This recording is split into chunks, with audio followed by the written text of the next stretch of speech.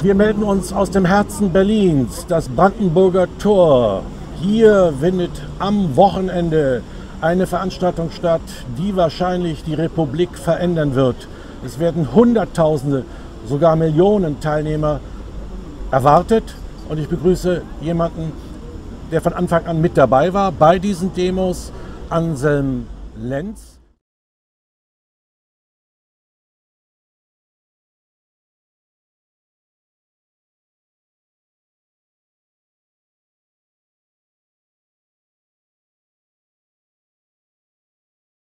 als äh, sonstiges unsere, unser professionelles Presseerzeugnis ähm, nicht verteilt werden durfte auf dem Rosa-Luxemburg-Platz in einer nie dagewesenen Form der Sperrzone, die zurückgeht auf den Innensenator Geisel, SPD, und auf den Kultussenator, ähm, na, wie heißt der gleich?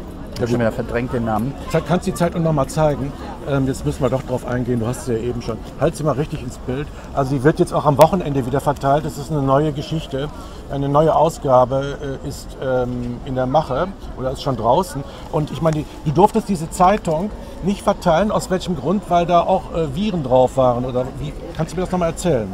Was haben und die gesagt? sollte ein Schreiben übergeben werden und wurde es dann schließlich auch auf dem, mit dem Briefkopf vom Polizeipräsidenten von Berlin, derzeit ist eine Polizeipräsidentin, ähm, als seitenlang dargelegt wurde, warum wir das nicht dürften. Äh, auf fadenscheinigen Grund. Der extremste äh, Faktor dort war, unsere Zeitung stelle virologisch kontaminiertes Material dar.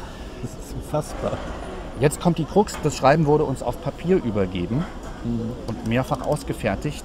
Insofern ist also schon klar, wie gaga und unmöglich eigentlich dieser gesamte Vorgang ist. Hier wurde wirklich Zensur verübt äh, und in die Pressefreiheit eingegriffen, ein Verfassungsbruch für sich.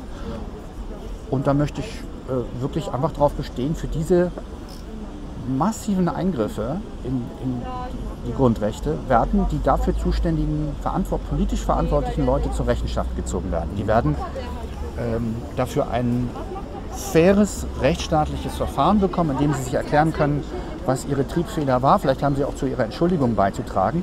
Und übrigens auch hohe durchführende Beamte, die solche Befehle ausführen. Ähm, denn da gibt es ja auch einen Amtseid und einen Schwur aufs Grundgesetz.